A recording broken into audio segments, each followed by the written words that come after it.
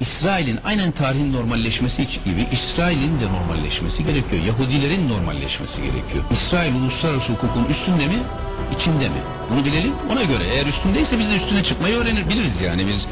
Ama içindeyse kuralları her ülke için uygulayalım. İran'da nükleer silah hayırsa İsrail'e de hayır. İsrail'in artık ne o mazlum tümüyle mazlum millet ne de üstün millet değil sıradan bir millet olduğunu onlara da öğretmemiz onların da bunu öğrenmesi lazım ki Orta Doğu'da barış olsun. Bunu öğretecek de tek millet biziz bunu da söyleyeyim.